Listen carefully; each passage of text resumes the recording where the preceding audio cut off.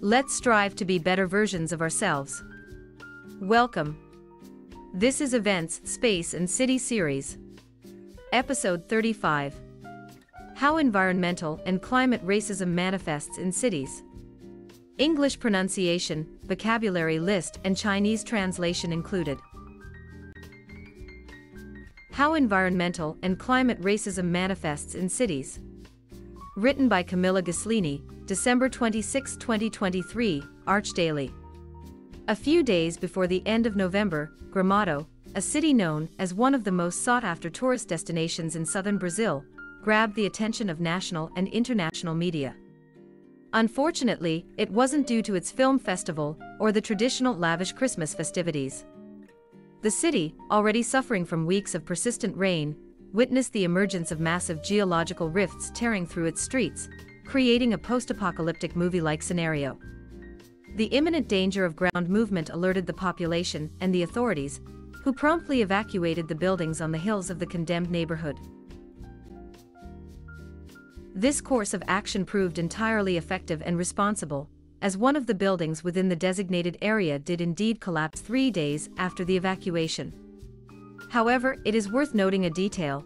The affected neighborhood consisted of upscale residences and luxury hotels and inns, which raises a question. Would the efforts have been the same if the situation occurred in lower-income peripheral neighborhoods? In the specific case of Gramado, we may never know.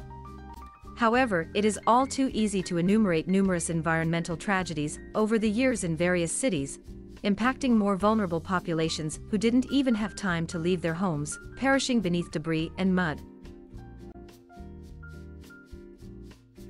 In the face of this situation, a specific term has been increasingly discussed when addressing the challenges of contemporary cities. Environmental racism pertains to how environmental issues are viewed through the lens of social inequalities, particularly racism. The intersectionality between race and the environment has sparked discussions about the differential impacts of natural phenomena on the population. It also addresses urban issues such as unequal access to clean water and sanitation, and the placement of landfills and dumps near low-income communities, among other concerns. The term was coined in 1981 by the African-American civil rights leader Benjamin Franklin Chavis Jr., who served as an assistant to the renowned political activist Martin Luther King. Its origin can be traced back to the protests of the black movement against environmental injustices that were taking place across the United States at that time. Recently, given the impacts of climate change on the planet, environmental racism has expanded to encompass climate racism as well, which highlights a significant contradiction where the major contributors to greenhouse gas emissions are the more developed countries. However, the nations facing the most severe consequences of climate change are those in the global south. The same principle applies to cities, environmental degradation does not seem to impact everyone equally. In the Brazilian context, for example, it's important to emphasize that the historical settlement of hillsides by the black population, except for cases like Gramado, is connected to its colonial past, with social structures based on the enslavement of black individuals who were disenfranchised and received no reparations after emancipation.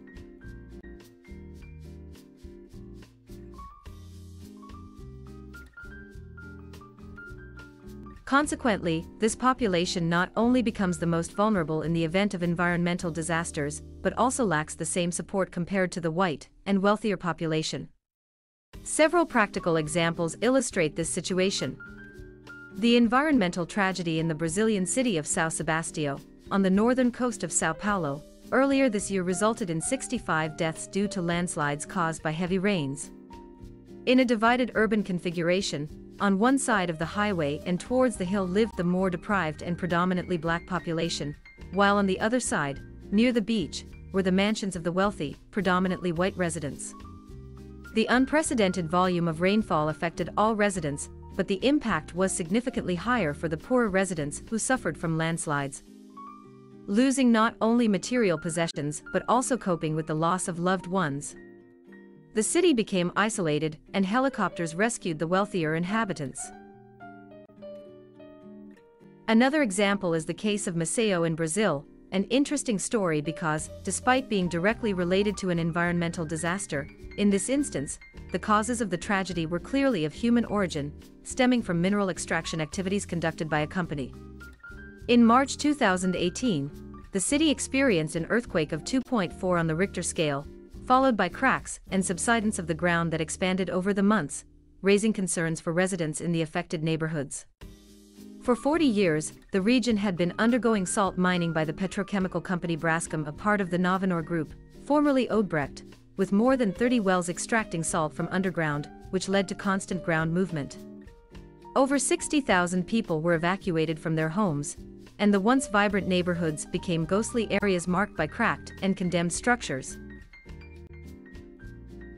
Many families were forced to quickly relocate to areas far from the city center or to neighboring municipalities, without support, and far from receiving adequate compensation.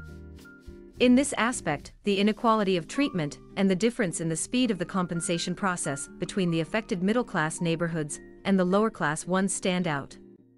It's worth noting that the situation was further exacerbated by urban speculation, which intensified after the disaster, resulted in Maceió experiencing the fourth largest increase in property prices in the country that year. This example highlights the significant impact of extracting natural resources on both life and the planet's environment. This process not only influences life directly but also contributes to the exacerbation of climate change.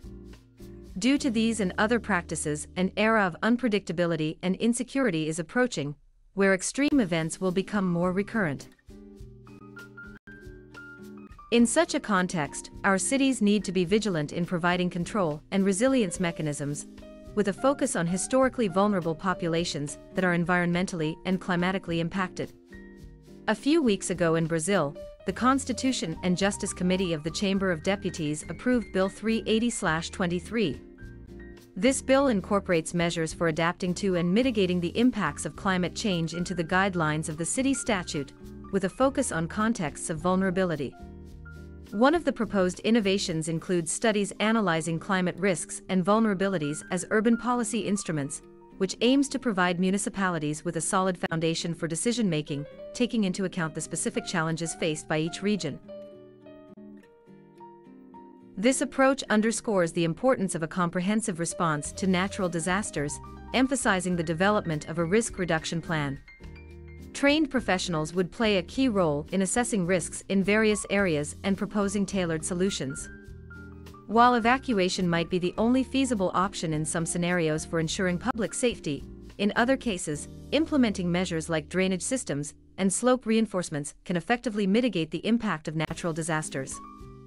The near tragedy in Gramado illustrates the possibility of foreseeing and preventing certain situations. Despite these advancements, there remains a clear need for more equitable treatment in such circumstances. We are really grateful that you took the time to listen. If you find value in this video, please consider sharing, liking, and subscribing. Also, do not forget to turn on the notification bell. A wonderful day to you all.